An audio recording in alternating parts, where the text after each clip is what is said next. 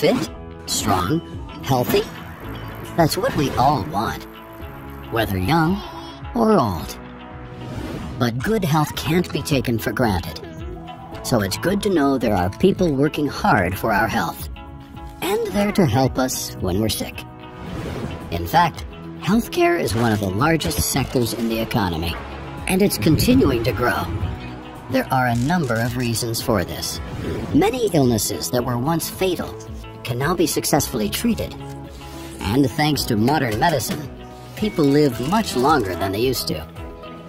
Yet that success creates new challenges. The older we get, the longer we need good health care. There is also growing demand for preventive care and wellness.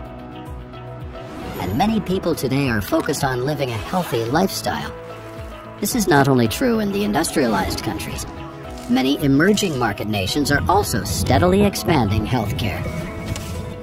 This increases demand for affordable care in these countries too. By continuously seeking and finding new answers to these challenges, healthcare companies are driving medical progress. We are working to deliver high quality, affordable healthcare. People around the world are benefiting. And we're proud of that.